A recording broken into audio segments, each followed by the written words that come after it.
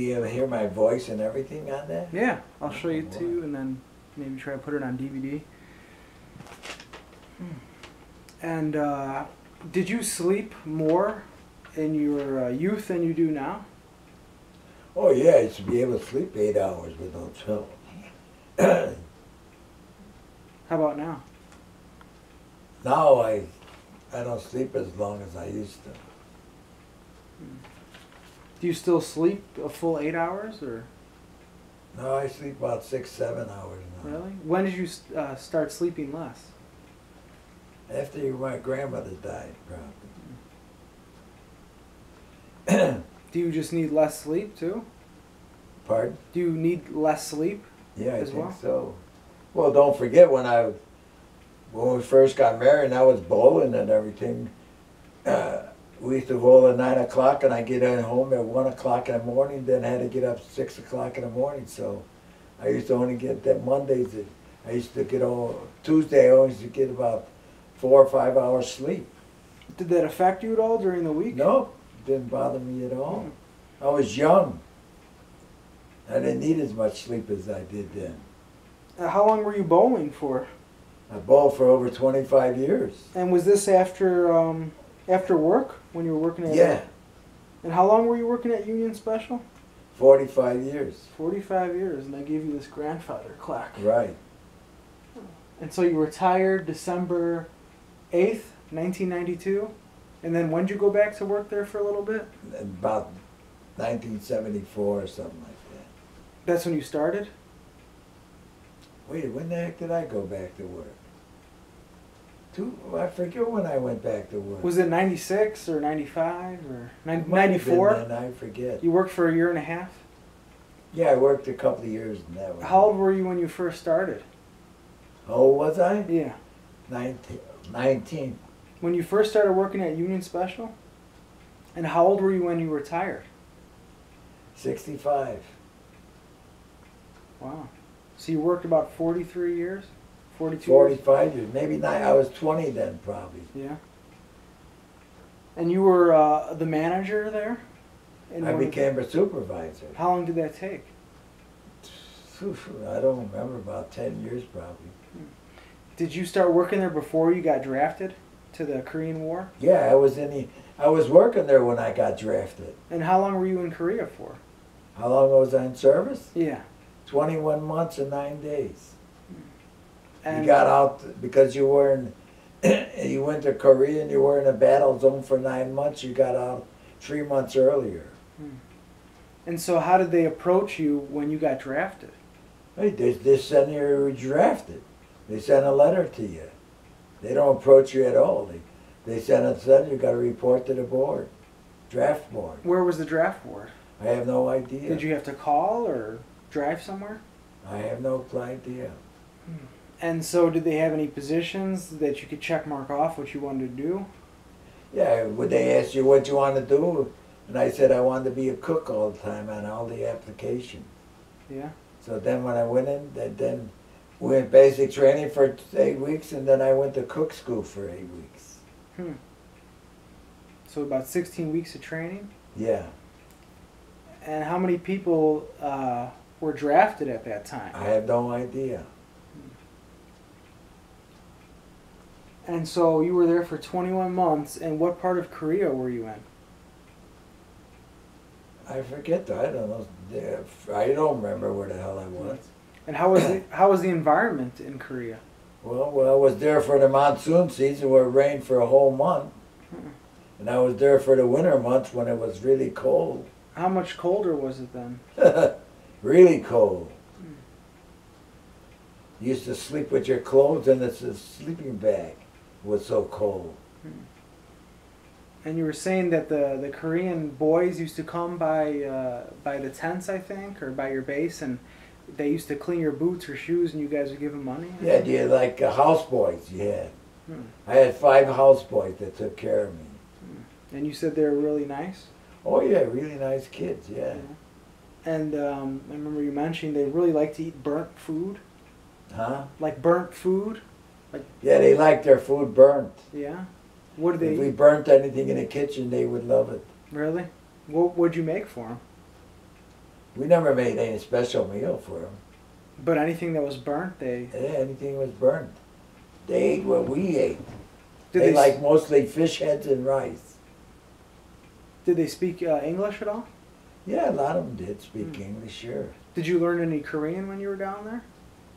The what? Uh, did you learn the Korean language at all? No, I didn't learn anything. And you said uh, the living conditions for them were a little different. Yeah, it was pretty rough. It's really rough for them. Yeah. And you said that the women were. We're filthy at that time. Of course, nowadays it's all changed. Yeah, now they have. Uh, when I was in, in college, and uh, oh, they're entire different now. yeah, they they really embrace uh, f- femininity. And then there were after about six months, you go. Uh, they call it R and R. They used to fly in, the, in these uh, flying tank uh, planes to Japan for five days. And you uh, took a little trip down there. Huh? You took a trip to uh, Japan. Oh yeah, you got five days. Every soldier got a chance to go there, and you had to pick a special meals. So I picked fresh milk and steak, because we never had fresh milk. We always had powdered milk or powdered potatoes and stuff like that. What did you get to do when you were in Japan? You got to go visiting around all different places. I went to a place where I got a haircut. They did face massage and all that stuff. And when you took a sh- bath, you washed outside. Then you get in really hot, nice hot water and soak in that after you, after you take after you clean yourself. Hmm. You don't wash in the tank in the same tank that you soak in. What else did you see? And they used human manure for fertilizer there. yeah. So we couldn't eat none of their fruit or vegetables and stuff like that. Why not? Because it was human fertilizer. And you didn't want And to. our systems are not used to that. Did anybody try anything? Any fruit that was? I have no idea. Did you see any uh, forest at all in Japan, or any temples, or I don't remember. any Joe. architecture anywhere? Or? I don't remember. Going over to cocktail lounges and stuff like that. Did you guys go into Tokyo at the time, or, or Kyoto? Or? I went to Kurokura. It's Oh. a small little place. I, I didn't go to Tokyo. And how far did you go? Did you go anywhere else in Japan? No, that's the only place I went. And uh, you had a pleasant experience there one time. A what? A pleasant experience, you said? I had a lot of experiences there. Oh, you did? How many? I don't remember. And uh, were the people very polite there? Yeah, they were really nice. Yeah. On the monsoon seasons, a lot of soldiers drown. Really? How many drowned? I have no idea, but then after after that, every soldier had to go for swimming lessons. Hmm. Of course, I knew how to swim, so I didn't have to worry. And uh, during when you were in Korea during the Korean War, you said uh, a lot of your friends died during the war. No, they weren't friends. They were uh, soldiers that I met while I was in there. Two of our cooks got killed. And how did that happen? Bombs, bombs. Did they bomb the area you were in? Yep. How'd you survive? Every Sunday afternoon at three o'clock, they bombed us. so they were very. I don't know why, but every Sunday at three o'clock they they threw bombs in about three or four artillery, and then that was it. So every Sunday at three o'clock. How many straight weeks? I forget. Hmm. And so you avoided getting hit. Did you hide at that time at three Well, o'clock? big t- big trenches by our by our bunks. And so did you guys know this was going to happen? And you guys. Yeah, everybody took took uh, cover then. They never switched the times at all. They never bombed on a Saturday or Friday. or- Nope, just Sunday. And was this at three in the morning or? It was in the afternoon sometime. Yeah. And uh, how many guys would come and do this? I have no idea. How many Korean soldiers were there at the time? I have no idea. How about the United States soldiers?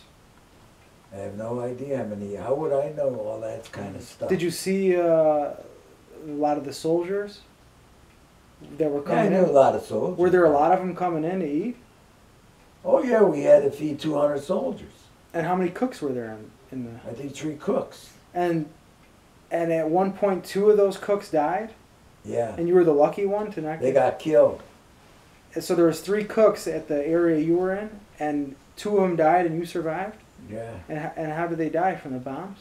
I, I forget it. I think no, they they took the cooks out of the go. They need extra soldiers on the line, Really?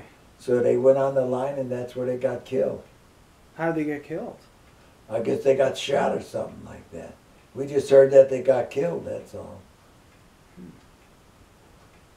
Did you get to see any war personally when you were there? Any, you know, the bombs go off? Did you? No, You never, you never saw any explosions? Did you see any blood or any? no, I seen that when the bombs hit the ground, they exploded. Yeah, Was it making a loud noise? yeah. Yeah. How did you feel when all this was going on? I was scared. Yeah. Did you think you were gonna die at any point? No, I never thought about it. What What were you thinking about at that time? Boy, Jordan, I have no idea. What was it like your your um, you know? Did you? Uh, That's all I know is I was scared. mm,